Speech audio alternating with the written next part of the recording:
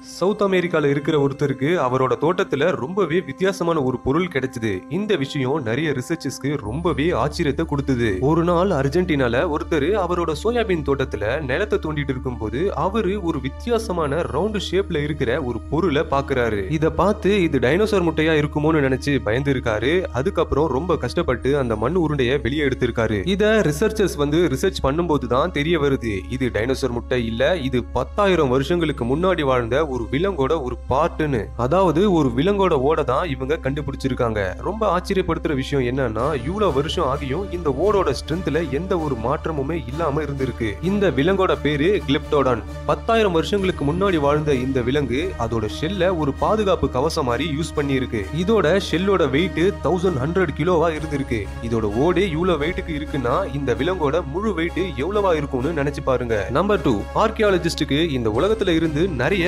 அமேசிங்கான விஷயங்கள்லாம் மண்ணுக்கடியில இருந்து கிடைக்கதான் செய்து. அந்த மாதிரி ஆப்பிரிக்கால டூ தௌசண்ட் டுவெல்ல ஆர்கியாலஜிஸ்டுக்கு ஒரு மனுஷனோட எலும்பு கூடு கிடைச்சது. அந்த எலும்பு கூடு சாதாரண மனுஷங்களோட எலும்பு கூடு மாதிரி இல்லாம பல மடங்கு பெருசா இருந்துச்சு. அது மட்டும் இல்லாம அதோட மண்டவோடு ரொம்பவே பெருசா இருந்திருக்கு. இத பத்தி சயின்ஸ் என்ன சொல்லுதுன்னா பல ஆயிரம் வருஷங்களுக்கு முன்னாடி மனுஷங்க ரொம்பவே பெரிய உருவம் கொண்டவங்களா இருந்தாங்களாம். ஆனா காலம் போக போக மனுஷங்களோட உடம்பு கொஞ்சம் கொஞ்சமா சின்னதாகி இருக்குன்னு சயின்ஸ் சொல்லுது. பல ஆயிரம் வருஷங்களுக்கு முன்னாடி மனுஷங்க பெரிய உருவம் கொண்டவங்களா இருந்திருக்காங்கன்னு இந்த ரிசர்ச்ல கண்டுபிடிச்சிருக்காங்க. நம்பர் த்ரீ ரஷ்யால ஒரு குகைக்குள்ள ரொம்பவே வித்தியாசமான ரெண்டு மண்ட ஓட்டை கண்டுபிடிச்சிருக்காங்க. இது எங்க இருந்து எப்படி வந்துச்சுன்னு சயின்டிஸ்டால கூட கண்டுபிடிக்க முடியல. அந்த குகைக்குள்ள கிடைச்ச இந்த மண்ட ஓடு எந்த உயிரினத்தோடதுன்னு சயின்டிஸ்டால கண்டுபிடிக்க முடியல. குகைக்குள்ள இந்த ரெண்டு மண்ட ஓடு இருந்திருக்கு. இதோட மத்த எலும்பு கூடுலாம் அங்க இல்லையா? வெறும் மண்ட ஓடு மட்டும் இந்த மண்ட ஓடுக்கு பக்கத்துல ஒரு பழைய பெட்டி ஒண்ணு இருந்திருக்கு. அதுக்குள்ள பழைய ஜெர்மனி நாட்டோட ஒரு மேப் இருந்திருக்கு. அதையும் ரிசர்ச் பண்ணதுக்கு அப்புறம் கூட சயின்டிஸ்டுக்கு ஒரு சின்ன க்ளூ கூட கிடைக்கல. அந்த குகைக்குள்ள இந்த ரெண்டு மண்டவோடும் எப்படி வந்துச்சுன்ற விஷயமும் ஜெர்மனி மேப் எப்படி ரஷ்யால இருக்கிற குகைக்குள்ள வந்துச்சுன்ற விஷயமும் இன்னைக்கு வரைக்கும் ஒரு பெரிய மர்மமாவே இருக்கு. நம்பர் ஃபோர் இப்ப வரைக்கும் ஏலியன்ஸ் இருக்கிறதுக்கான ஒரு ப்ராப்பர் எவிடன்ஸ் கூட இந்த உலகத்துல இல்ல. ஆனா மெக்சிகோல ஒரு மலை குகைக்குள்ள சில வித்தியாசமான கல்வெட்டுகளை கண்டுபிடிச்சிருக்காங்க. இந்த கல்வெட்டுல ஏலியன்ஸ் மாதிரியான உருவங்கள்லாம் செதுக்கப்பட்டு இருந்திருக்கு அது மட்டும் இல்லாம இந்த கல்வெட்டுல மனுஷங்களும் ஏலியன்ஸும் சந்திக்கிற மாதிரி செதுக்கி இருந்திருக்கு இதுல ரொம்பவே ஷாக்கிங்கான விஷயம் என்னன்னா இந்த கல்வெட்டுக்கள் எல்லாம் பத்தாயிரம் பிசி காலத்தை சேர்ந்ததான். இது ஏன் இந்த மாதிரி செதுக்கி இருக்காங்க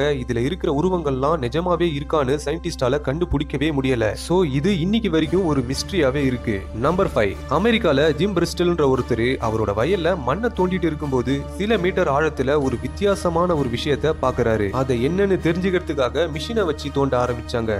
தோண்ட தோண்ட கொஞ்சம் கொஞ்சமா அந்த பொருள் வெளியே தெரிய ஆரம்பிச்சது. முழுசா வெளியே எடுத்து பார்க்கும்போது தான் தெரிய வருது. இது ஒரு பெரிய விலங்கோட தலைப்பகுதின்னு. ஜிம் பிரிஸ்டில் இந்த விஷயத்த ஆராய்ச்சியாளர்கள்ட்ட சொல்றாரு. அதுக்கப்புறம் இதை ரிசர்ச் பண்ணாங்க. அந்த ரிசர்ச்ல தெரிய வந்தது என்னன்னா இது பதினஞ்சாயிரம் வருஷத்துக்கு முன்னாடி வாழ்ந்த ஒரு விலங்கு. இதோட பேரு ஓலி மேமத் இது பார்க்க யானை மாதிரி தான் இருக்கும். ஆனாலும் யானையை விட ரொம்பவே பெருசா இருக்கும். அது மட்டும் இல்லாம இந்த விலங்கு ரொம்ப ரொம்ப ஆபத்தும் கூட. பல ஆயிரம் வருஷங்களுக்கு முன்னாடி வாழ்ந்த இந்த ஓலி மமத் பனி பிரதேசத்துல தான் அதிகமா வாழ்ந்திருக்கு. காலம் போக போக குளோபல் வார்மிங்னால இது அப்பவே அழிஞ்சிருச்சு. இந்த ஃபேக்ட் பிடிச்சிருந்தா வீடியோக்கு ஒரு லைக் சேனலை சப்ஸ்கிரைப் பண்ணிருங்க. பாய் பாய்